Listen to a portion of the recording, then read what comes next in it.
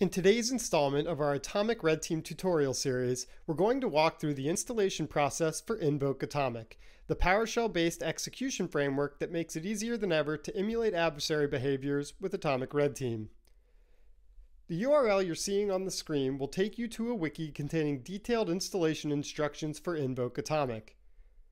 The instructions on this page will serve as the guide for this and a handful of upcoming instructional videos on how to use Invoke Atomic. A few prerequisites before we move on. You'll want to make sure that you have permission to run these tests.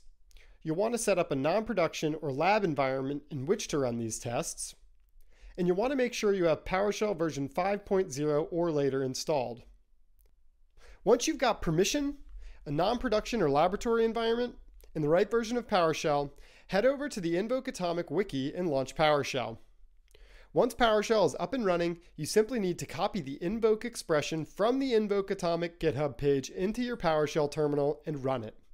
You'll know that Invoke Atomic is installed successfully when PowerShell tells you that the installation of Invoke Atomic Red Team is complete.